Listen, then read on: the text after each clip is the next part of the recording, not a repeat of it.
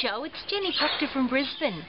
It's a beautiful sunny day here, as it always is in Brisbane. In fact, it's the end of winter, but we're experiencing heatwave conditions.